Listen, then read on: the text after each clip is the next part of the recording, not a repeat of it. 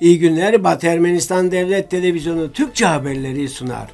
Lavrans Herav, Stepanakert'te kar yağıyor.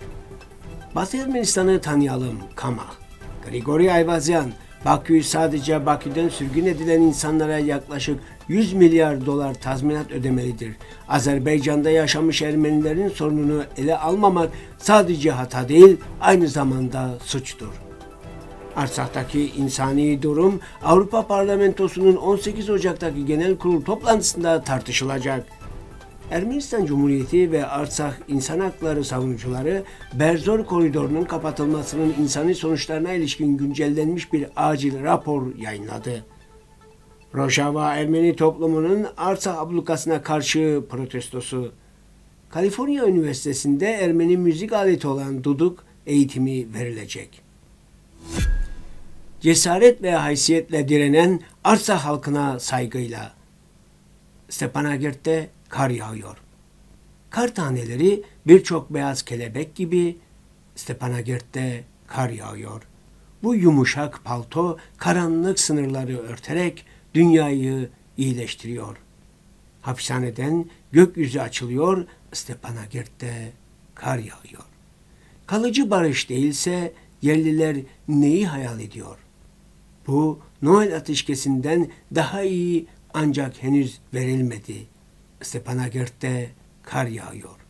Lavrans Herav 9 Ocak 2023 Batı Ermenistan'daki Kamah köyü bir zamanlar Ani adında bir kaleydi. Aynı zamanda kale şehri olarak da anılır.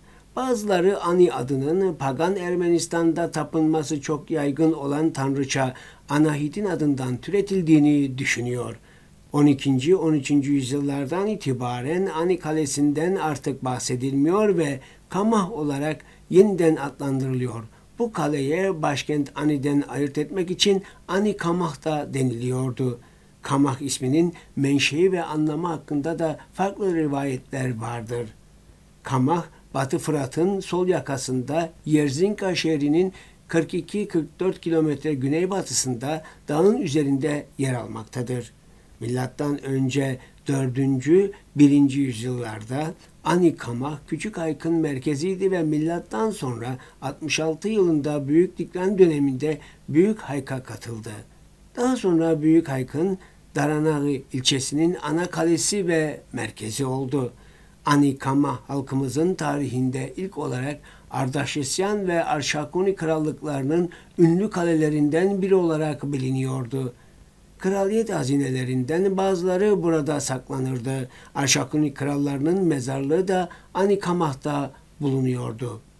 Anikamah'ın hazinesi 369 yılında 2. Şabuh önderliğinde Ermenistan'ı işgal eden Pers birlikleri tarafından yağmalandı. 19.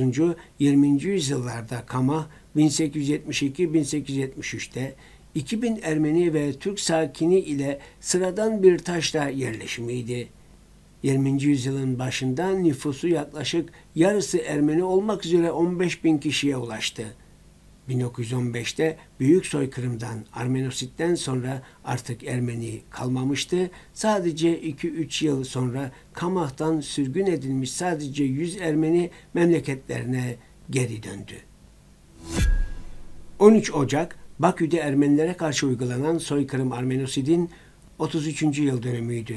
Bu bağlamda Azerbaycan Ermenileri Meclisi Başkanı Grigori Ayvazyan, Lıragir Ayem gazetesiyle yaptığı reportajda Azerbaycan'dan kaç kişi sınır dışı edildi ve hangi maddi hasarlar hesaplandı sorusunu şöyle yanıtladı. Resmi rakamlara göre pogromlar sonucunda Azerbaycan'dan yaklaşık 500 bin kişi göç etti. Ama resmi olmayan rakam daha fazla. Sadece Bakü'den 500 bin kişi göç etti. Resmi rakamlara göre 250 bin kişi Bakü'den göç etti. Azerbaycan yalnızca Bakü'den sürülen insanlara yaklaşık 100 milyar dolar tazminat ödemek zorunda. Aliyev şimdi Arsak halkına kendisini Azerbaycan vatandaşı olarak görmeyen herkesin Arsak'tan ayrılmasının önünü açtığını söylüyorsa öncelikle Bakü'de yaşayan Ermenilerin akıbetini hatırlasın. Zangezur'dan bahsederken o insanları tazmin etmeye veya Bakü'de kabul etmeye hazır mı? Batı Ermenistan, Azerbaycan için caydırıcı bir mekanizma olan böyle bir girişimi olumlu değerlendiriyor ve Bakü ve çevre şehirlerdeki Ermenilerin mülksüzleştirildiğini ve soykırıma, Armenoside tabi tutulduğunu ekliyor. Daha sonra Ermenilerden kurtulan Azerbaycan, Ermenilerin yaşadığı farklı bölgelerde kültürel soykırım, kültürsit gerçekleştirdi. Avrupa Parlamentosu'nun 18 Ocak'taki genel kurulunun gündemine Artsakh Dağlı Karabağ'daki ablukanın insani sonuçları başlıklı acil tartışma alındı. Armen Press bunu Avrupa Parlamentosu'nun internet sitesinden öğrendi. Avrupa Birliği'nin yürütme organları ile yapılması planlanan müzakerelerde Avrupa Parlamentosu üyeleri aynı zamanda geliştirilecek acil bir kararın kabul edilmesi konusunda konuşmalar yapacak ve oylama yapılacak. 12 Aralık'tan bu yana Avrupa Parlamentosu'nun çeşitli üyeleri Berzor koridorunun Azerbaycan tarafından bloke edilmesine ve bunun sonucunda ortaya çıkan insani krize Avrupa Birliği yürütme organlarına hitaben mektuplar ve parlamento soruları da dahil olmak üzere yanıt verdiler. Ermenistan Cumhuriyeti ve Artsak'ın insan hakları savunucuları kurumları 13 Ocak 2023 itibariyle yeni güncellenen verilerle Berzor yolunun kapatılmasının insani sonuçlarına ilişkin olağanüstü bir rapor yayınladı. Savunucular raporda uluslararası yapıların, şahsiyetlerin ve medyanın Berzor yolu meselesine tepkisine, Azerbaycan'ın üst düzey yetkililerinin ve kamu görevlilerinin Berzor yolunun abluka altına alınmasına ilişkin provokatif açıklamalarına, Azerbaycan'ın üst düzey yetkilileri tarafından devam eden etnik temizlik işaretlerine, ablukanın neden olduğu insani krize, sözde eko aktivistlerin eyleminin yanlış doğasını meydana çıkaran yeni verilere, yasa dışı olarak yolu kapatan kişilerin Azerbaycan hükümeti ile doğrudan bağlantılı olduğuna değindiler.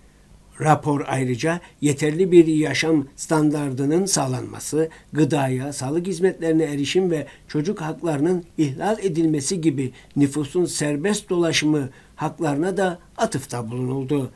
Raporun farklı bölümlerinde hak ihlalleri, uluslararası insan hakları ve insancıl hukuk ilke ve normlarına göre analiz edildi.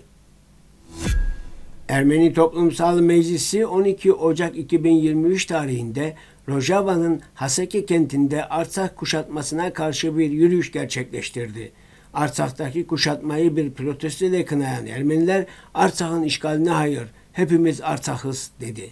Derzor ve Kamışlı meclislerinin yanı sıra Şehit Nubar Ozanyan Tugay Savaşçıları ve Ermeni Kadınlar Birliği üyelerinin de katıldığı yürüyüşte Kamışlı Ermeni Toplumsal Meclisi Eş Başkanı Gohar Haçadıryan, Haseke Ermeni Toplumsal Meclisi Eş Başkanı İmat Tataryan ve Rojava Ermeni Toplumsal Meclisi Eş Başkanı Arev Kasapyan birer konuşma gerçekleştirdi.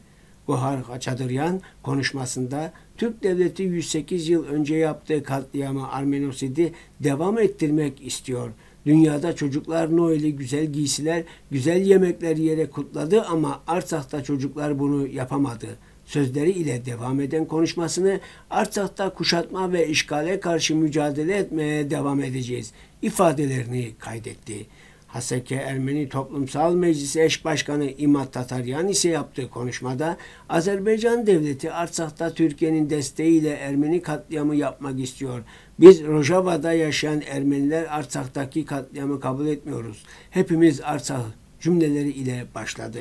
Son olarak konuşan Rojava Ermeni Toplumsal Meclisi Eş Başkanı Arev Kasapyan da Bugün biz Artsak'ta Azerbaycan işgalini kınamak için toplandık. Artsak kuşatma altındadır. Uluslararası kuruluşlar ve bütün dünya ülkeleri bu durum karşısında sessiz kalıyor.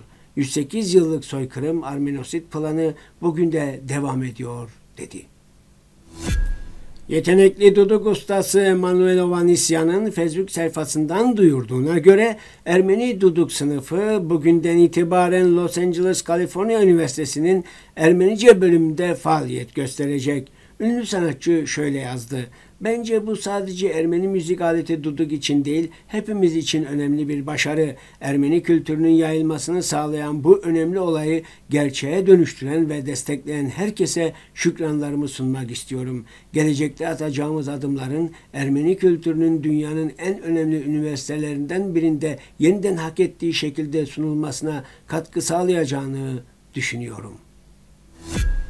Bugün için bu kadarını öngördük. Şimdi size Duduk Ustası Ararat Bedrosel tarafından seslendirilen Ermeni halk melodisini sunuyoruz.